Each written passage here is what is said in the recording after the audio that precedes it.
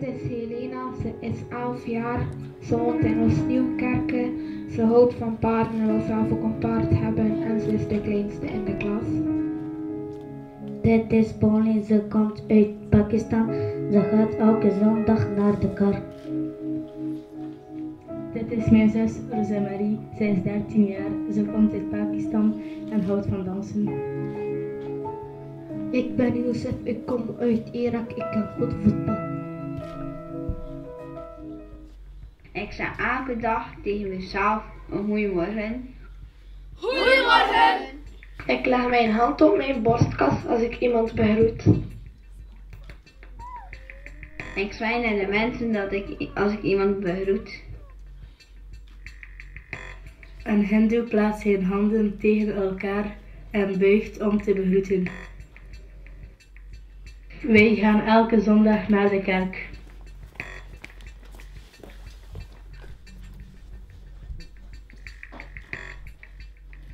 Mijn opa gaat elke dag naar de moskee.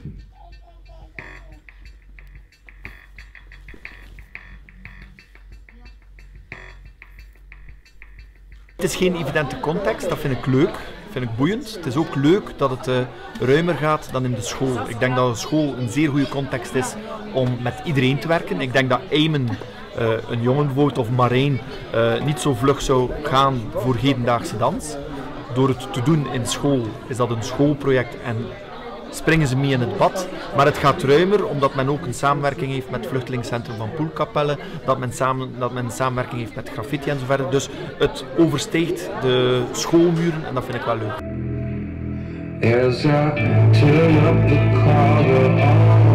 Up the winter this is